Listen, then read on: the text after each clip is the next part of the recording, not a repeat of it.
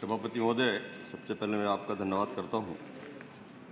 आपके माध्यम से मैं भारत सरकार के खाद्य एवं आपूर्ति मंत्री जी का ध्यान मध्य प्रदेश के साथ साथ उत्तर भारत के सभी राज्यों में, जहाँ आटा मिले हैं, फ्लोर मिले हैं, वो बंद होने की कगार पर आ गई हैं, उस तरफ़ ध्यान आकर्षित कराना चाहता हूँ।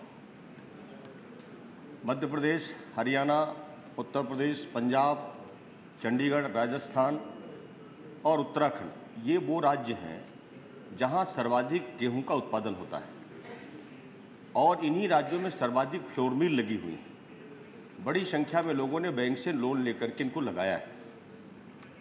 अभी भारत सरकार का खाद्य मंत्रालय ने एक निर्णय लेने का काम शुरू किया है कि हम अब पूरे देश के सभी राज्यों को ग्यारह सौ प्रति क्विंटल के हिसाब से गेहूँ बेचेंगे।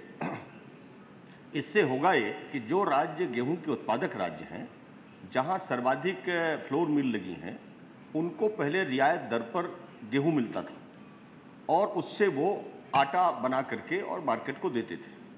अब जब ये फ्लैट रेट हो जाएगा तो ये उन राज्यों के लिए तो ठीक है, जहाँ पर गेहूँ का उत्पादन नहीं हो रहा।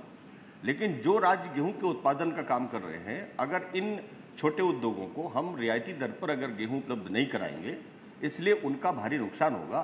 मुझे एक एसोसिएशन मध्य प्रदेश का फ्लोर मिल का मिला था और उन लोगों ने कहा कि साहब अगर इस पर भारत सरकार पुनर्विचार नहीं करेगी तो हम लोगों का करोड़ों रुपए का कर्ज से लेकर के जो हम लोगों ने इस उद्योग को लगाया है वो बंद हो जाएगा।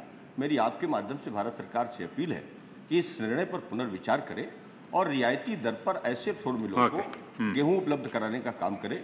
मैं आपका पुनः धन्यवाद करता हूँ। श्री मनीष